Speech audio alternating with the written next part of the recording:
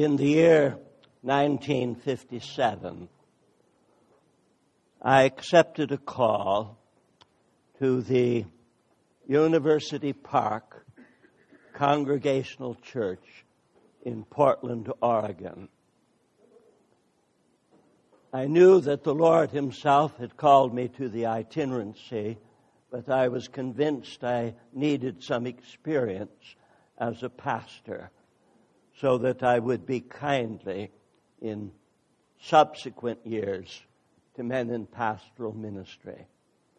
At the time, I first looked over that church and they looked over me.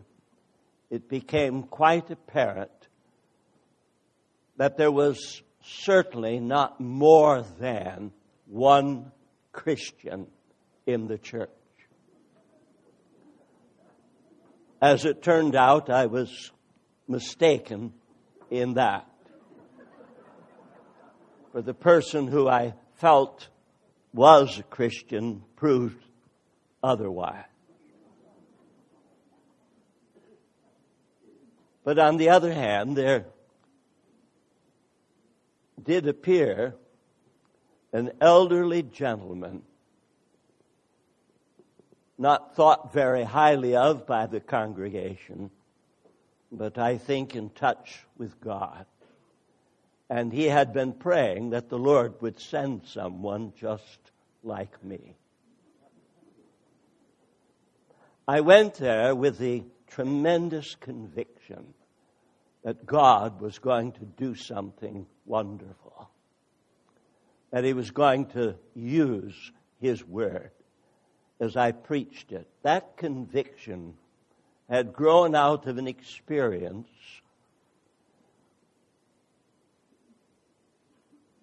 I had been in the seminary and had uh, begun to doubt very seriously the authenticity of the Old Testament scriptures. The nature of the seminary curriculum really was to undermine what little faith existed in the hearts of the students.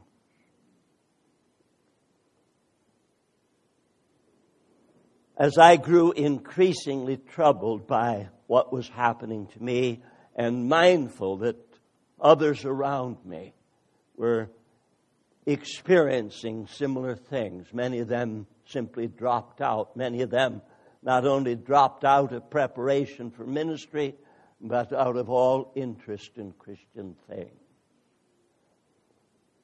But eventually, the impact of it on me was so great that I determined to talk with the dean of the school, who had treated me warmly from the time of my arrival there.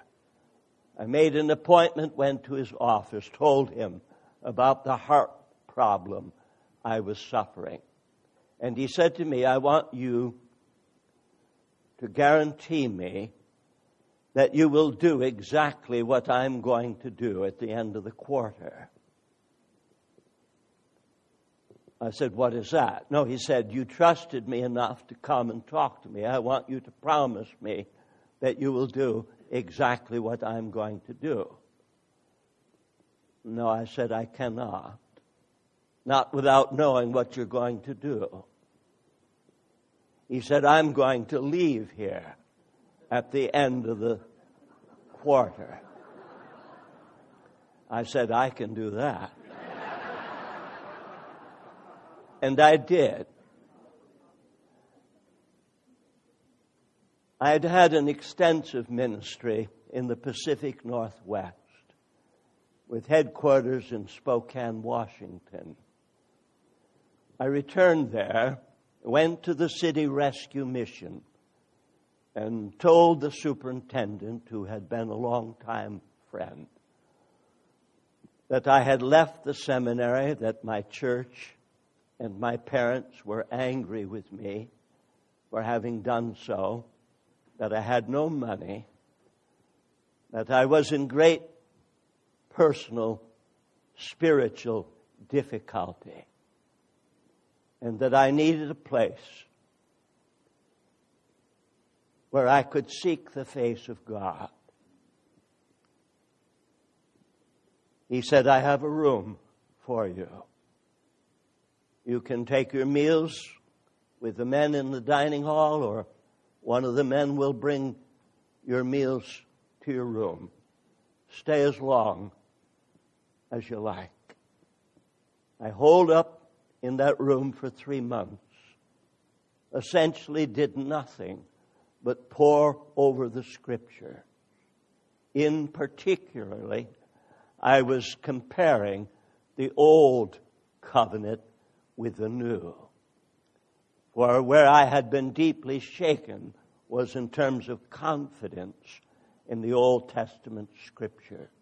It became quickly apparent to me that if I was going to reject the old, I had to reject the new. There are so many quotations of the old in the new, it was simply absurd to try to hold on to one and not the other.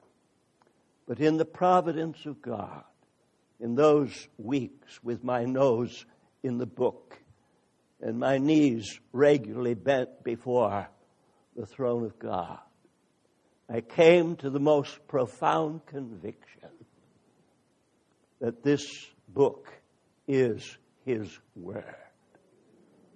That I could trust every bit of it. That every bit was as vital as every other bit. And I vowed to spend the rest of my life studying and proclaiming what I found in this book. So I went to the city of Portland, Oregon, with the conviction that if the people in the congregational church there could hear the Word of God presented to them in the power of the Holy Spirit, it would transform their lives and the church. On the fourth Sunday, when I was preaching there as pastor, I saw tears coming down the cheeks of one person. One person for sure. There was a second one that looked very sober, but the angle where they sat was such I couldn't be certain there were tears. And a third one that I kept glancing at as I preached, thinking God was truly at work At the end of the sermon, I announced that I would be in the church that afternoon at three. And if there were any who could no longer live without the knowledge of sins forgiven, they could meet me there. I was so hopeful that at least one would come. To my astonishment, there were 13. 11 of whom, over the next seven days, were profoundly converted. That began the closest thing to a genuine revival that I have ever personally seen. Week after week, the Lord was adding to the church those who were being saved. And I was gathering them in additional meetings each week, teaching them the Word of God. But they were all, with the exception of the one old man, just brand new. They had been all their lives in a liberal congregational church where they had never heard the Word of God. And they were trying to understand uh, uh, we, we can't seem to get a hold of this. Why is it now, suddenly, all these things are so real and so wonderful and all the years past it was just a lot of silly stuff in which we were engaged. And in trying to help them in one area of understanding in particular, I formulated a simple statement. I said to them that those who profess to be Christians can be divided into three classes. Those who we could describe as Bible plus. Those who could be described as Bible minus. And those who were clearly Bible only. I explained to them that the Bible plus were the cults, the Jehovah Witnesses and the Seventh day Adventists and the Mormons, who all claim to have belief in the scriptures, but the scriptures were not enough. Something had to be added. And that the Bible minus was our own congregational denomination. The Bible minus whatever in the Bible you don't like. So you take your scissors and you clip this out and you clip that out and you discover at the end that all you've got is a half a dozen well shredded pages. Now I had grown up in an area of the nation where classical liberalism prevailed and where indeed the, the bulk of the churches and their leadership had been busily chopping the Bible into bits and had gladly disregarded, cast aside vast portions of scripture. But in those days, I remind you, I'm talking about 1957, there was this glorious bunch of believers who were Bible only and who really believed that every word of God was indeed given for rebuke, for instruction in righteousness. But now,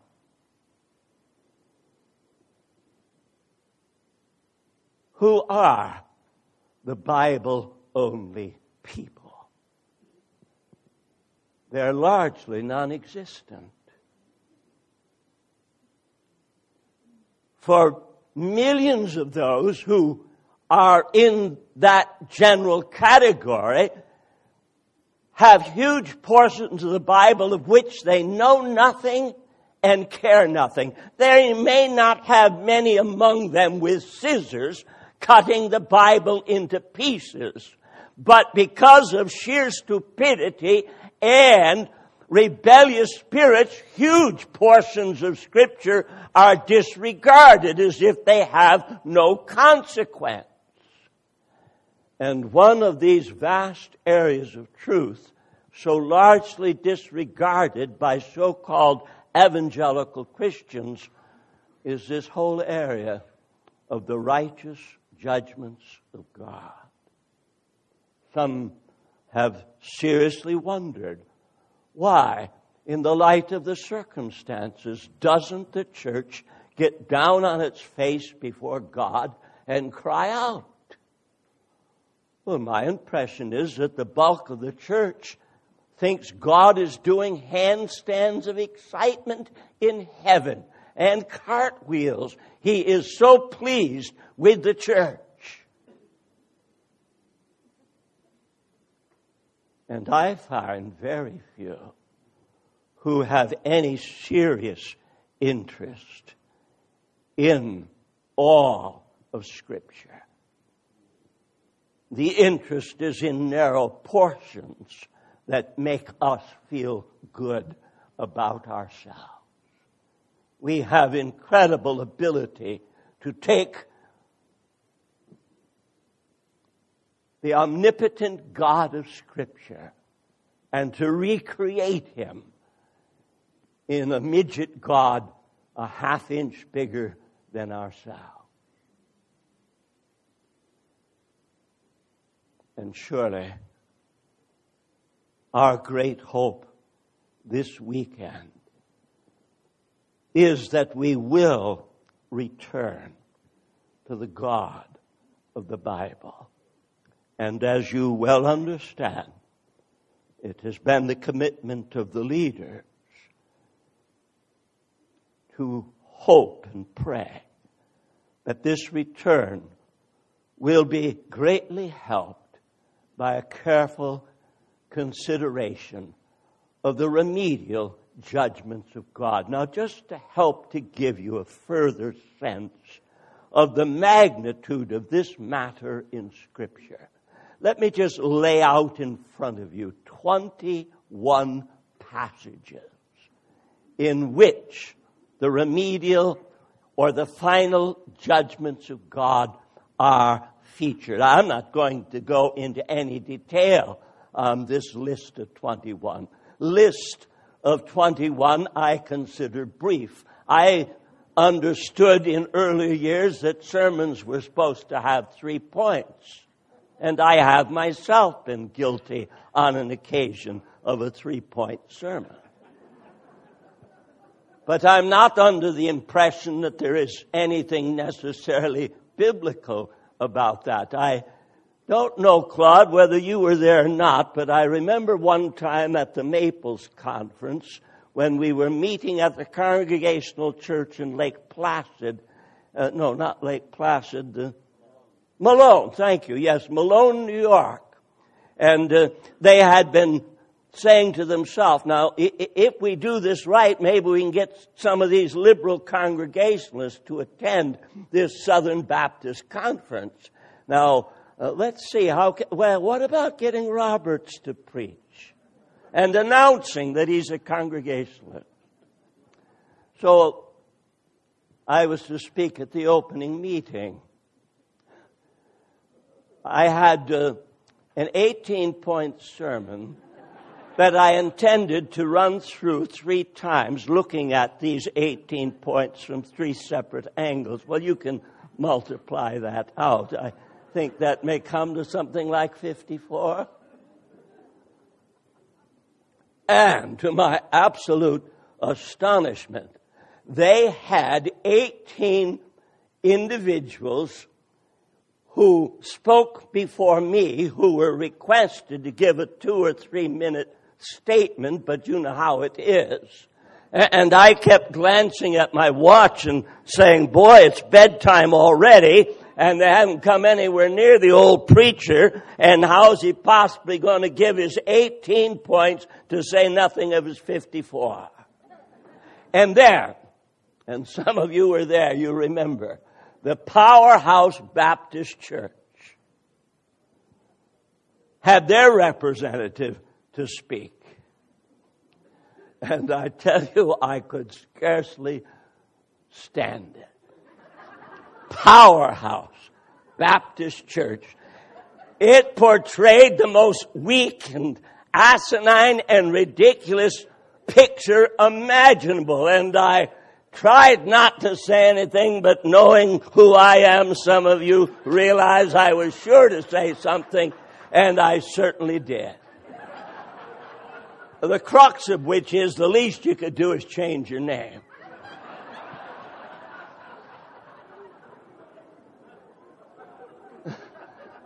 But not long ago, someone reported to me that God had begun a fresh work in that church and that things were wonderfully improved.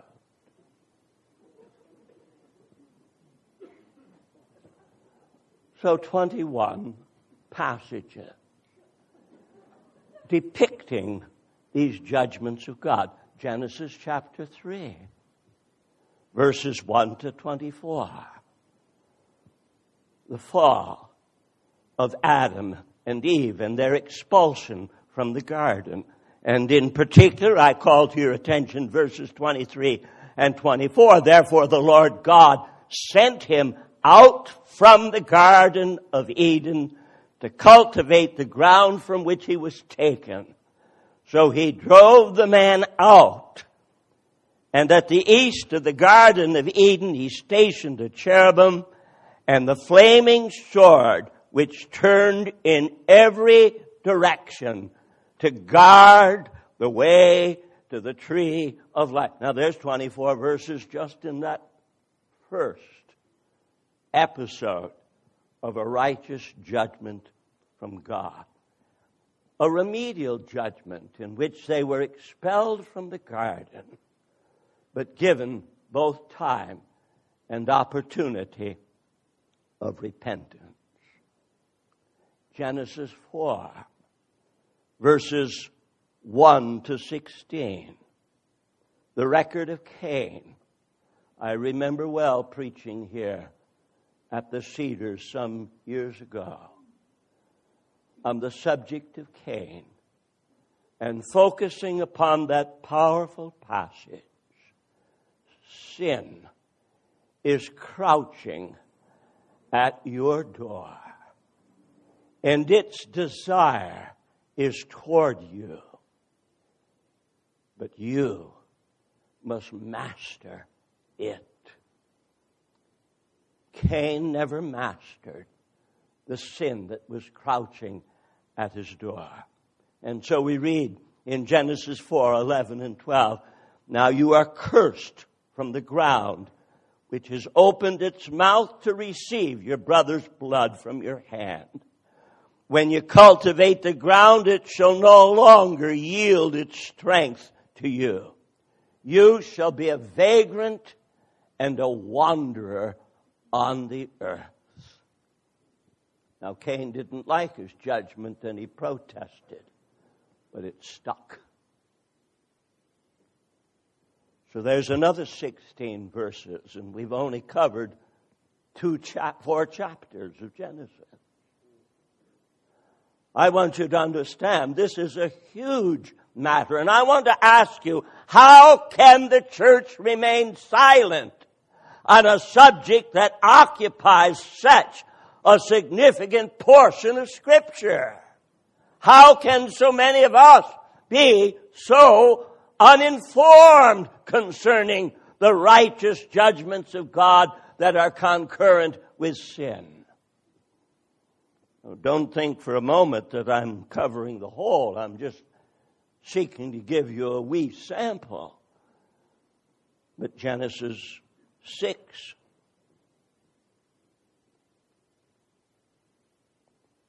and 7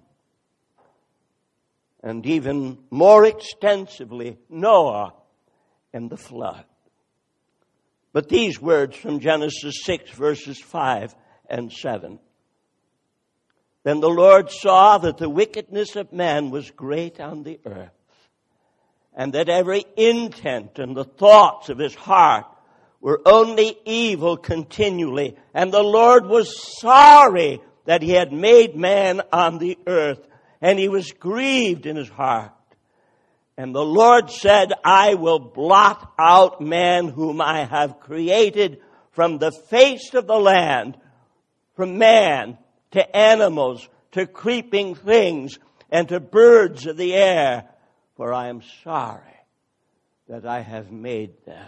So three entire chapters, six to eight, focusing upon the righteous judgments of God. Or chapter 11, verses 1 to 9. The scattering of the people at Babel because of their grievous wickedness. Verse 8, so the Lord scattered from abroad over the face of the whole earth. And they stopped building the city. So the judgment of Adam and Eve was remedial. The judgment of Cain was remedial. The judgment in the days of Noah and in the flood was a combination of final and remedial. The bulk of the people obviously taken in a final judgment, but a handful saved by the grace of God in the ark. now surely God intended that those saved in the ark should prove radically different from those destroyed in the flood. And again, in the scattering of the people at Babel, another remedial judgment. We jump over to chapter 19 of Genesis, verses 1 to 29 in particular. the destruction of Sodom and Gomorrah. And I read these words from verses 24 and 25. Then the Lord rained on Sodom and Gomorrah brimstone and fire from the Lord out of heaven, and he overthrew those cities. So once more, like the flood, a combination. The vast majority destroyed, but a handful saved. Here's one you may not have thought of Genesis chapter 20, verses 1 to 18, involving Abraham and Abimelech and Sarah and the wives in Abimelech's household. We read in verse 18, the Lord had closed all the wombs in the household of Abimelech because of Sarah, Abraham's wife. And some of you remember the circumstances. In an act of cowardice, Abraham pretended Sarah was not his wife. Abimelech seized what he thought was an opportunity and tried to take Sarah into his household. And in a remedial judgment, God sealed the wombs of all the women in the household.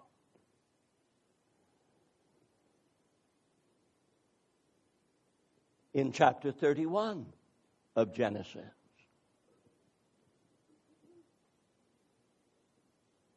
you remember the circumstances. Jacob had labored long for a wife and then was tricked and labored another long season and uh, was cheated. So we read in verse 24 God came to Laban the Syrian in a dream of the night.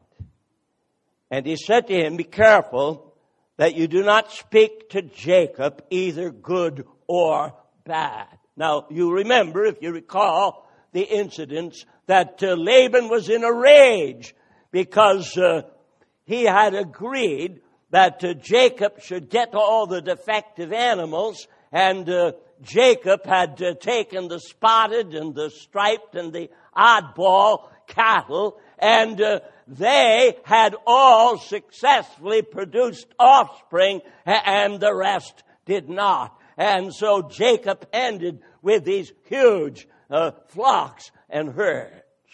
So Laban is going to give Jacob a piece of what he really thinks of him. And the Lord, in a dream at night, warns him Don't you say anything good or bad to my servant Jacob. And then we read in Genesis 31, verse 42 If the God of my father, the God of Abraham, and the fear of Isaac had not been for me, this is Jacob speaking, surely now you would have sent me away empty handed. God has seen my affliction and the toil of my hands, so he rendered judgment last night. Now, God had prospered Jacob's band. And when Laban determined to take back everything he was claiming as his own, the Lord rendered a judgment and said, You leave my servant alone. You see, there is considerable variety in these judgments. Or consider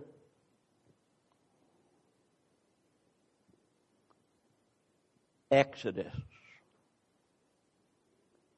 the plagues on Egypt. And this is another one of these extensive passages covering more or less 10 chapters of Exodus in which the Lord is at work rendering a judgment in favor of his people and against Pharaoh and Egypt. And in verses 26 and 27 of chapter 14, we find not only did the people escape, but the Lord drowned the army of the Egyptians. The Lord said to Moses, stretch out your hand over the sea so that the waters may come back over the Egyptians, over their chariots, over their horsemen. Then the Lord overthrew the Egyptians in the midst of the sea. So we really have two righteous judgments in this section. We have that righteous judgment in which Israel was not only allowed to leave Egypt, but God put it in the hearts of certain of the Egyptians to bestow things of great worth upon the Israelites. So when they left, they left with a mighty hoard of treasures that were given to them. And then when Pharaoh determined to bring them back, the Lord in another judgment took the lives of those in the Egyptian army in pursuit of Israel. And we move along.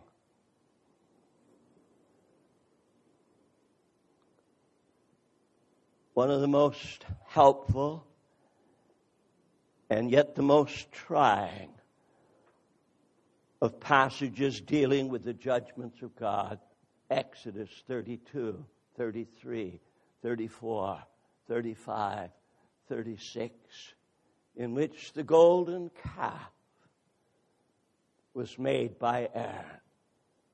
And the people demonstrated their zeal for evil in the worship of that calf. But what I would call to your attention. I know some of you are well familiar with the passage. Others may not be. But we have an extraordinary illustration in this incident of God first threatening a final judgment. You remember the words that God spoke to Moses. Get out of the way, Moses. I'm going to go down and utterly destroy those people. I will raise up out of you, Moses, you alone, Moses, nobody else, Moses, but you, I will raise me up a people for myself. And without even knowing what God is angry about, when God says, get out of my way, Moses instead gets right in God's face. And he begins to argue with the Lord. Why, Lord, if you destroy these people now, what will the Egyptians say? They will say, what kind of a mad God is it that brings a people out of Egypt by his own mighty arm only to destroy them in the wilderness a short time later? But he also argues, and what about the promises that you've made that remain unfulfilled? Promises to Abraham and to Isaac and Jacob, promises of a seed and of a land. And God reverses his threatened final judgment. Beautiful, beautiful passage. Without going into all the details, after Moses himself sees to the death of 3,000 of the ringleaders of this wickedness. God says, Go on, Moses, get moving. I want you to lead my people as I commanded you, so get going. But I won't go with you myself. You are a stiff necked people. If I were with you myself, I would destroy you in the way. I'll send an angel before you. But Moses says nothing doing. Angels have their place. But if you don't go with us, we're not going anywhere. And God, in His incredible mercy, says, All right, Moses, if you won't go without I'll go with you. Oh, what a profound lesson for us. We are where we're at because we're willing to go alone. When we reach that point where we'll go nowhere without Him, I believe with all my heart He will gladly come among us. When we talk about these righteous judgments, and I believe Henry has made that clear already this morning, our great problem is not knowing what to do with these judgments. We invariably, it seems, end up doing the wrong thing. But Moses has it right. If you don't go with us, we're not going anywhere. But let me move on. I've only mentioned uh, 10. And I have a few more to go if I'm going to keep my word. Leviticus chapter 10, a brief passage, 1 to 3. The issue of strange fire, of Nadab, Nadab and Abihu. Fire came down from the presence of the Lord and consumed them, and they died before the Lord. A final judgment, obviously. And Henry made reference to Deuteronomy chapter 28, verses 1 to 68. An incredibly beautiful list of blessings, verses 1 to 14. And then an almost unbelievable list of curses, verses 15 to 68. But the judgments of God in the form of blessings and cursings. I move along to my 13th illustration Judges, chapters 2 through 16. I wonder how many of you have acquainted yourself with what is set in front of us in that lengthy passage. Chapter 2 gives the essence of the whole matter. The people began in right relationship with God, but they sin and do not repent. And so God brings them under judgment. When they can no longer tolerate the judgment any longer, they cry out to God. And when they cry out to God from the bottom of their hearts with the utmost of sincerity and earnestness, God raises up a judge deliverer and they're brought back into a relationship with God. And for a season, they walk again with God. But then, that judge dies and they sin and the whole pattern is repeated. Between chapters 3 and 16, there are seven of those full cycles. All of that whole passage, the first half of the book of Judges devoted exclusively to the matter of remedial judgment. Now I'm asking you, how can we treat it as a matter of small consequence when such a major portion of the Pentateuch is devoted to this urgent subject. That's why I said to you near 50 years ago, evangelicals believed the whole of the Bible and earnestly preached and proclaimed it in its entirety. Now we claim to believe it and earnestly neglect its greatest portion.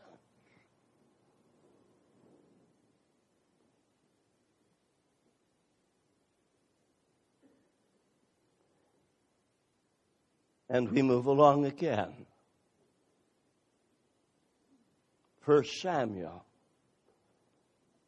chapter 4 verses 1 to 22 And in actual fact, chapters 1, 2, and 3 are setting it up for the judgment that is so apparent in chapter 4. You remember Eli and his wicked sons and their incredibly gross and evil conduct.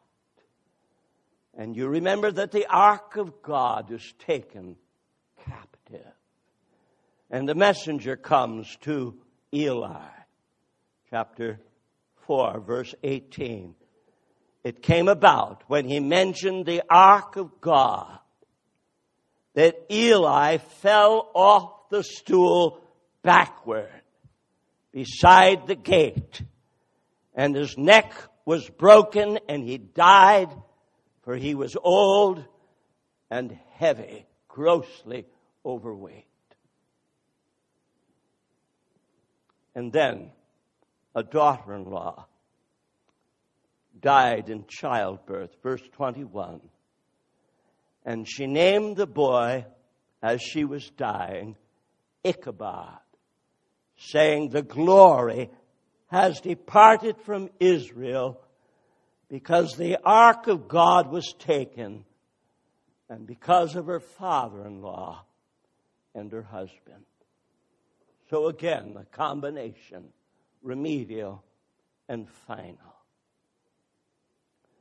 We come in 1 Samuel chapter 15, verses 1 to 35, with King Saul and his rejection. And again, several chapters are involved in the matter, but I read now two verses from chapter 15, verses 28 to 29. And Samuel said to him, The Lord has torn the kingdom of Israel from you today and has given it to your neighbor who is better than you. And also the glory of Israel will not lie or change his mind, for he is not a man that he should change his mind. And so Saul is rejected by God because of his pride. Another remedial judgment. 2 Samuel chapter 6, verses 1 to 23. The death of Uzziah and the abandonment of the ark. You remember the circumstances. David set his heart to bring the ark of God taken in the days of Eli back to its rightful place. But, like most so-called evangelicals in America today, he consulted the Philistines instead of God. When you want to move the ark, how do you do it? And the Philistines said, Why build a new cart? And uh, uh, get some young animals and pull it home on the ark. The disregard of the Word of God is our greatest error. God has spoken on every single subject that matters to us. And we disregard chapter after chapter, book after book.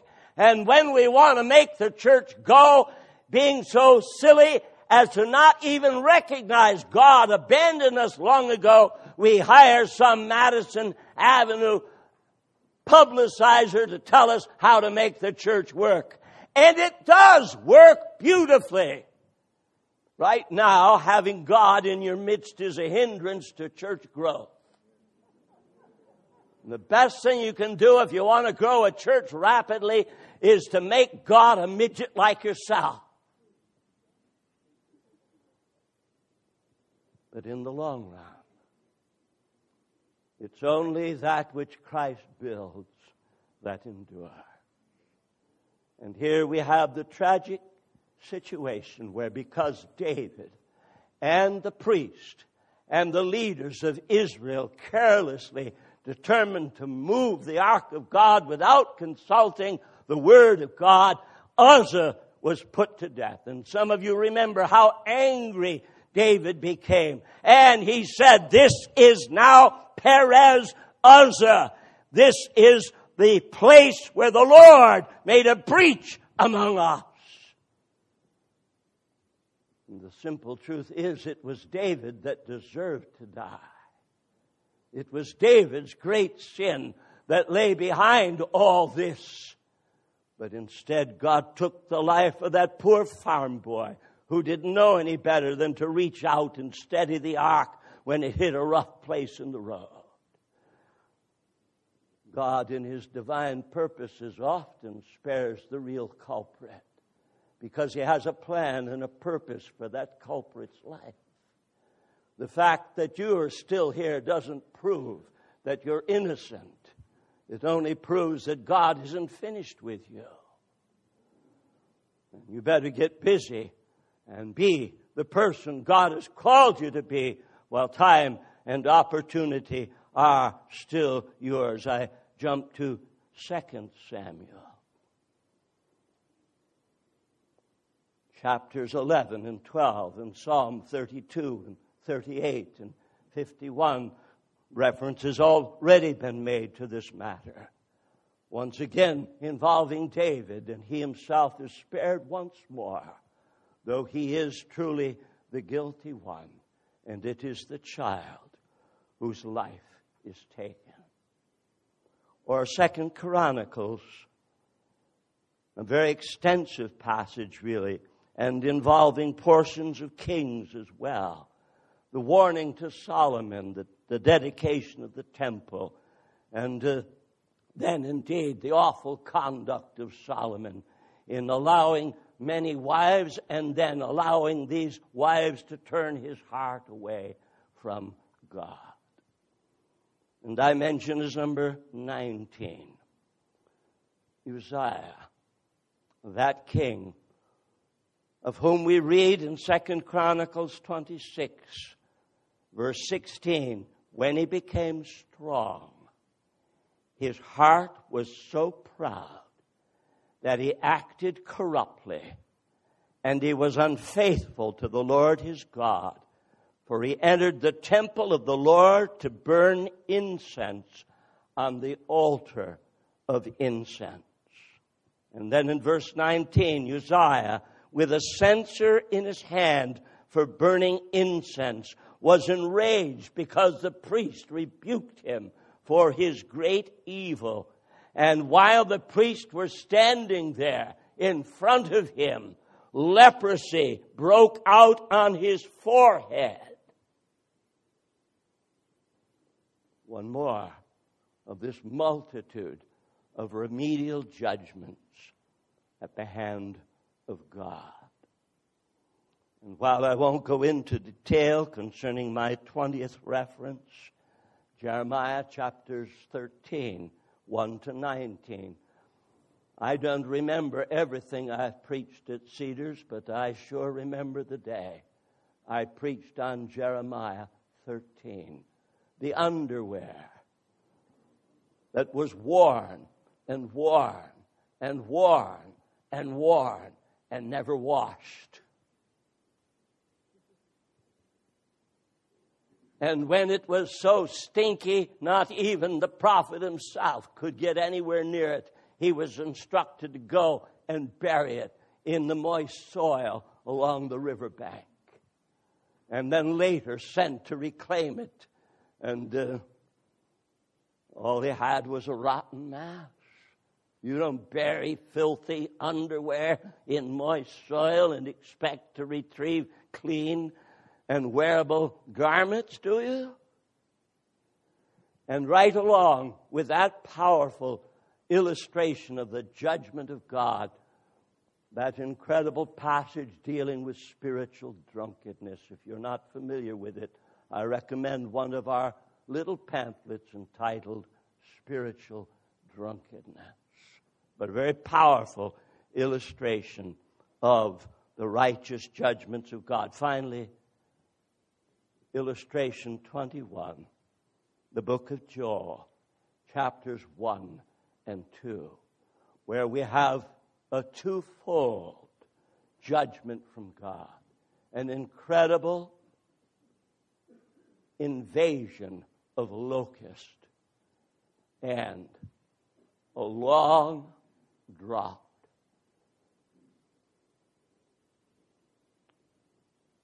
I just wanted you to get some sense that this matter of the righteous judgments of God is not minor. I've just touched on a handful.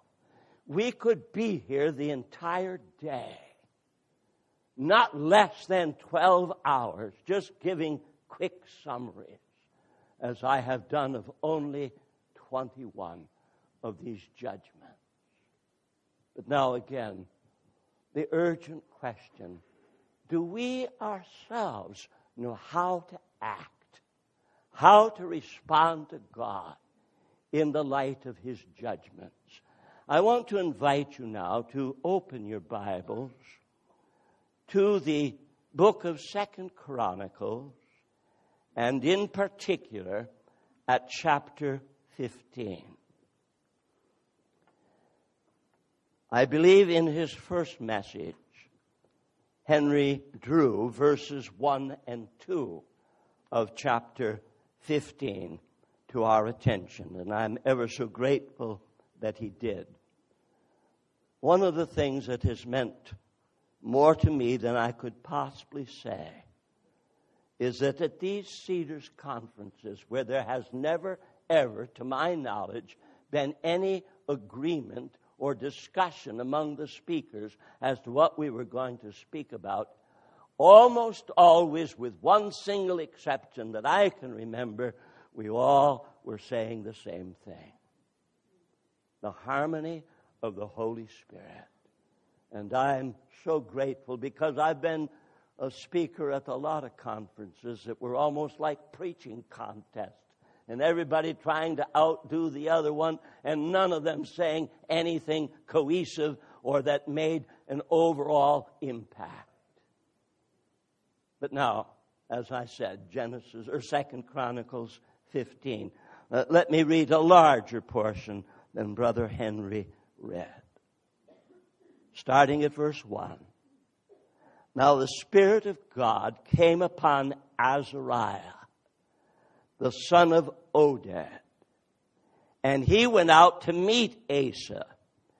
And he said to him, Listen to me, Asa, and all Judah and Benjamin, for the Lord is with you when you are with him. And if you seek him, he will let you find him. But if you forsake him, he will forsake you. And for many days, Israel was without the true God and without a teaching priest and without law. But in their distress, they turned to the Lord God of Israel and they sought him. And he let them find him. And in those times, there was no peace to him who went out or to him who came in, for many disturbances afflicted all the inhabitants of the lands. And nation was crushed by nation, and city by city, for God troubled them with every kind of distress. But you, be strong. And do not lose courage, for there is reward for your work. Let's take a few moments to analyze this passage. First, to whom these seven verses are addressed. Well, obviously, to Asa, to all of Judah, and to all of Benjamin. Now, let me point out a major problem that we face. There is no spokesman for God in a position to address the nation. By and large, the men with large audiences, the TV and the radio preachers and so on. They're just toying around with silly stuff.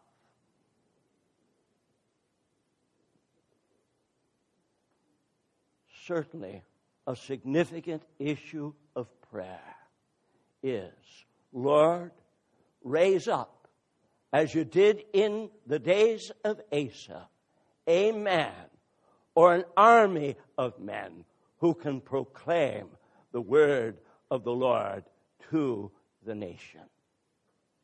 Has that been a prayer request of yours?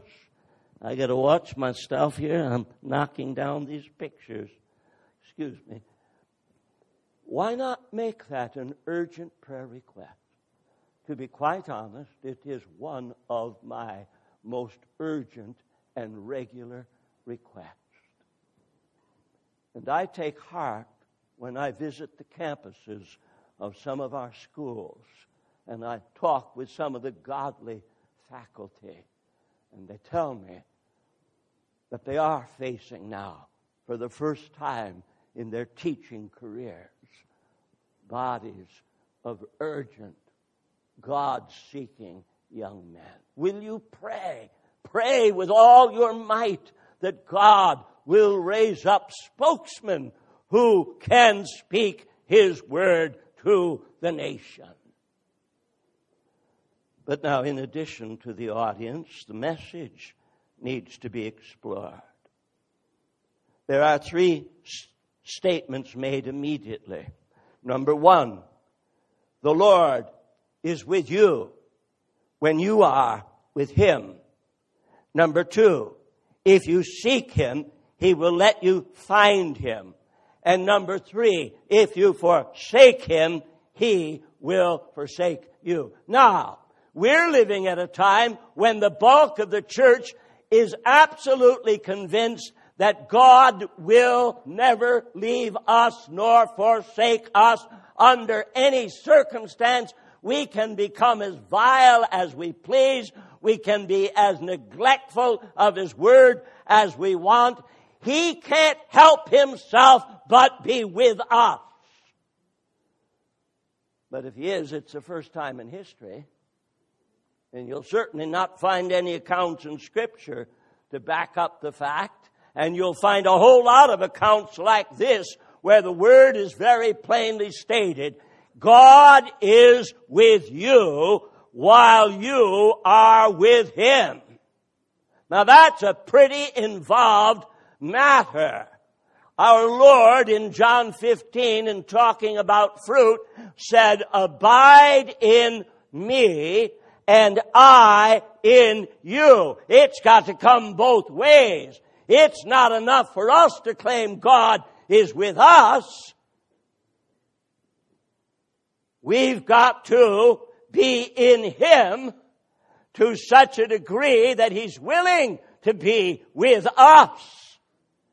And when we refuse to do things His way, it is one awful, reckless sin to declare He's with us. For He most certainly is not. And the prophet is very clear. The Lord is with you when you are with Him. And certainly, one of the outgrowths of this weekend ought to be every single heart determined to always be with Him. Never ever to even allow a single day to creep in when we are not with Him. But the second statement is of such profound consequence. If you seek Him, He will let you find Him. This word seek is a frequently used term in Scripture. And God wants us to understand you can't just stumble down Broadway and trip over God. God has two dwelling places, the high and the lofty place that none of us can reach on our own. And the heart, the spirit of the broken and the contrite. We've got to face realistically the limited habitation of God. He is not among the careless and the reckless. He's not among the prayerless and the foolish. He dwells with those who seek Him. What a wonderful assurance. If you seek Him, He will let you find Him. But don't fail to see the reverse of that. If you don't seek Him, it is wicked to suppose that He is with you. The seeking of the face of God is a daily pursuit, an hourly pursuit throughout our lives. And we must allow the prophet's warning to grip our hearts.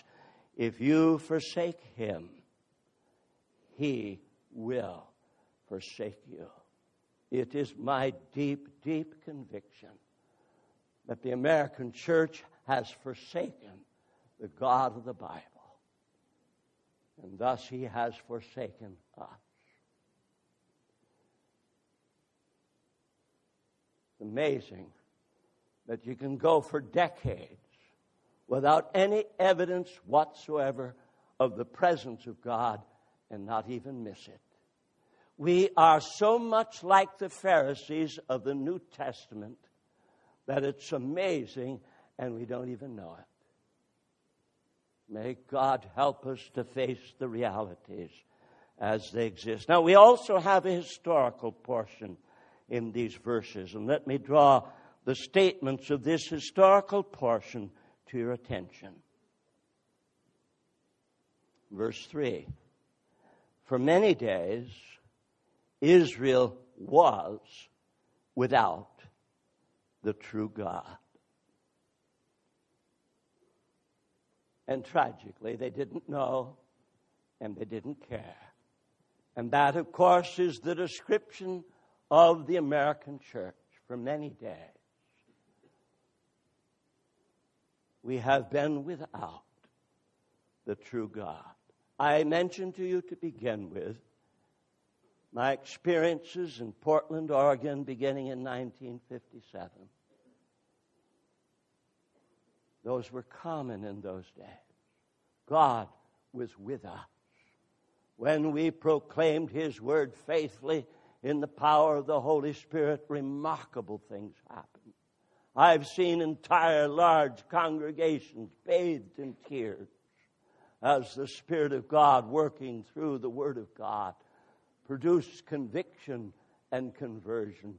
Time after time, it's been my joy to see faces suddenly light up and afterward people to rush up and say, I've been radically transformed right during the preaching of the Word of God.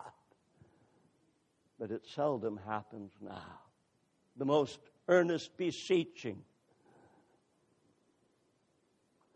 the most eager begging and the average congregation listens to the word and walks out without having even felt a dent.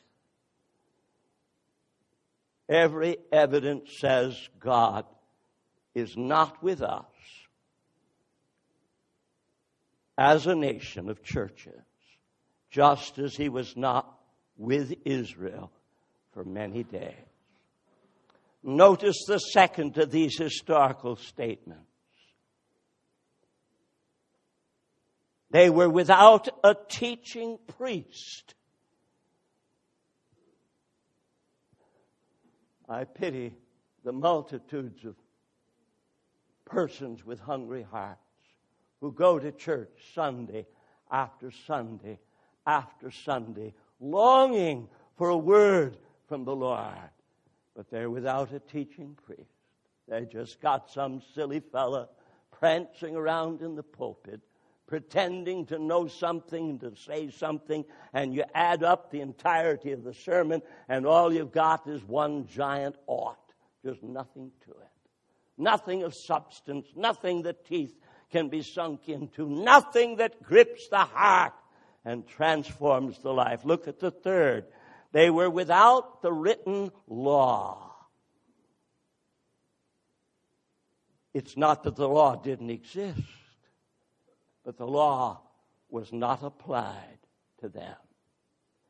Then we read as well, there was no peace to him who went out or to him who came in. That's the kind of a society we live in. Multitudes of places where I go, people tell me, we don't dare come to evening meetings. We can't leave our homes. If we left our home that night, it would surely be ransacked.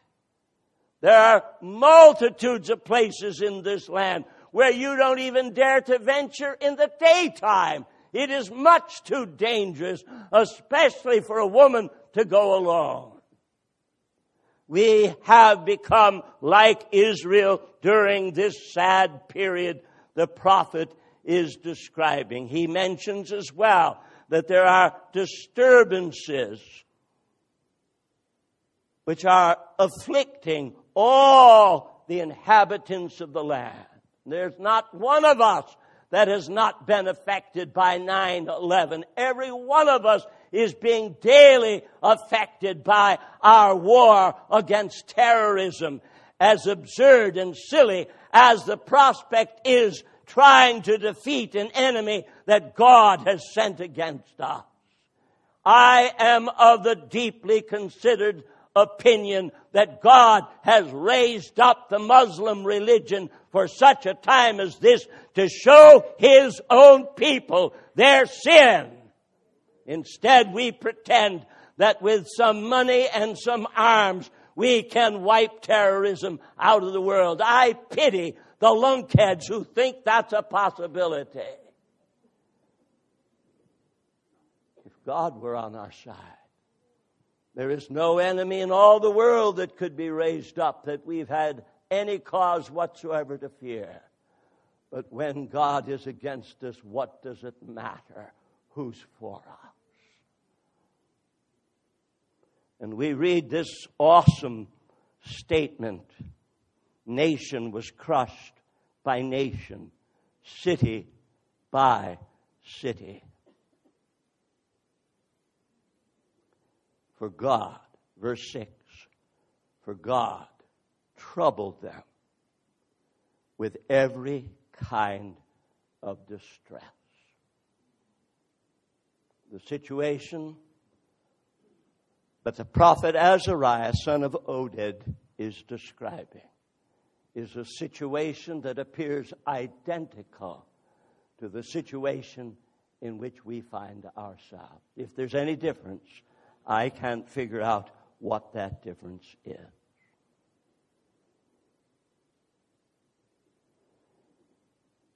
But we read that in their distress, they turned to the Lord God of Israel and they sought him. And I report, and Henry has reported, and every observant, earnest believer can report the same.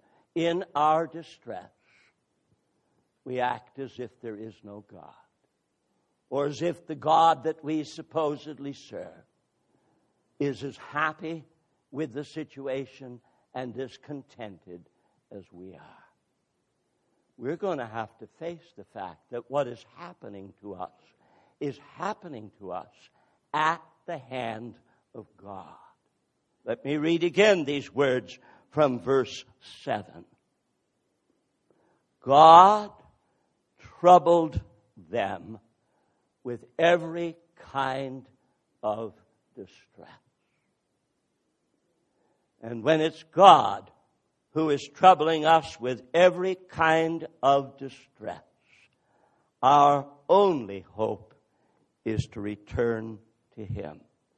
In their distress, they turned to the Lord God of Israel and they sought Him. I took just a moment in going over Judges 2 to 16 to point out to you in those seven cycles, in every instance, it was when they could not bear the judgment any longer.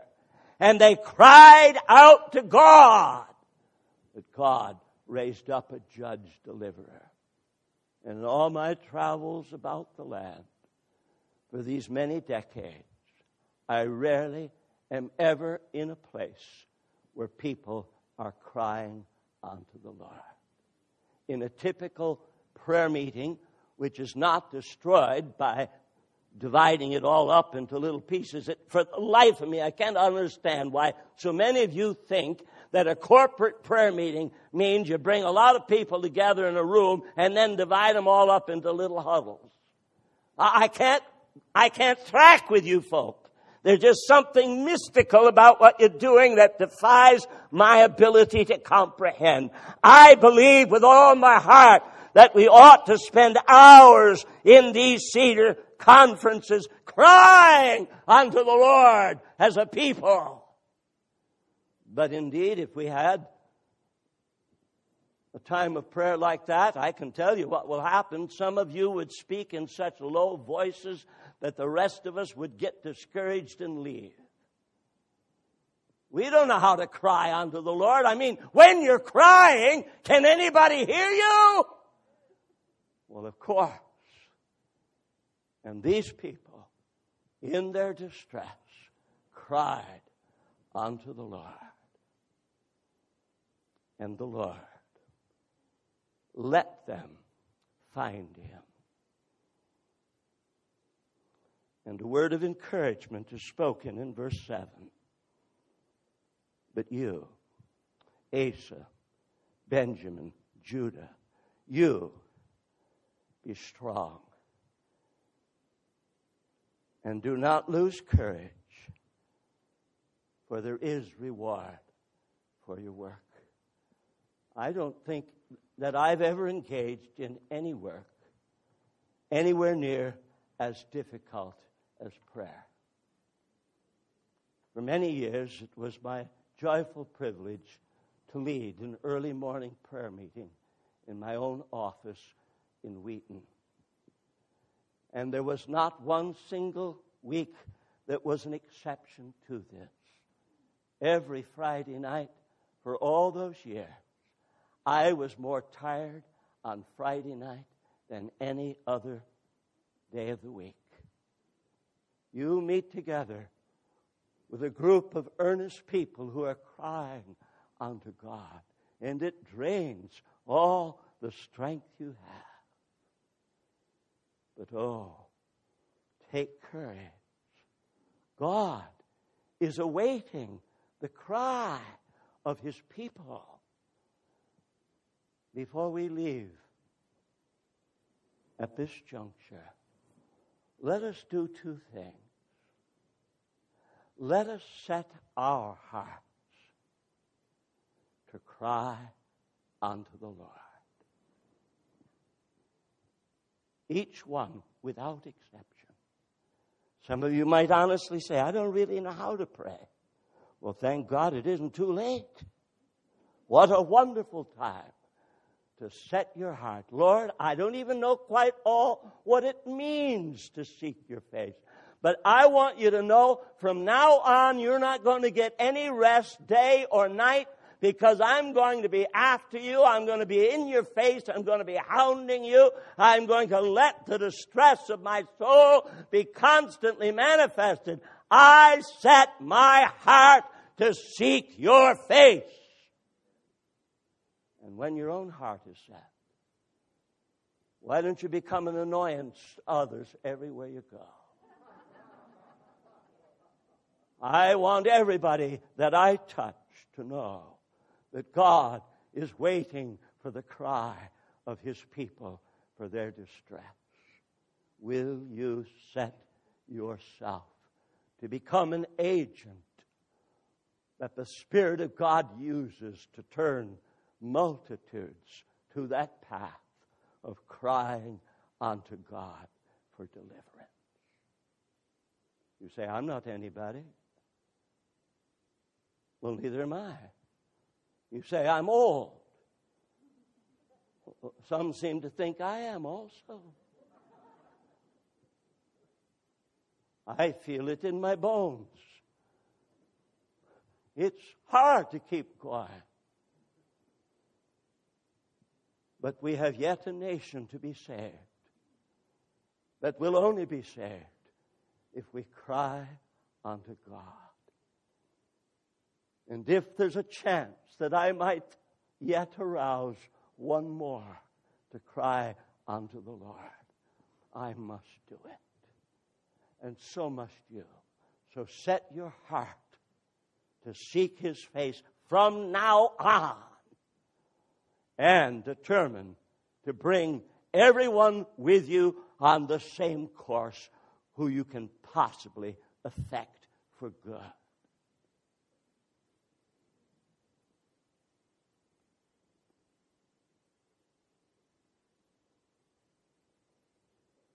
Forgive us our love of ease, our willingness to accept an awful situation and try to live with it.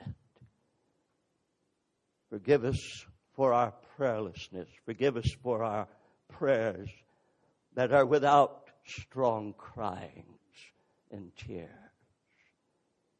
Turn us into a people who give you no rest day or night until righteousness reigns in the land.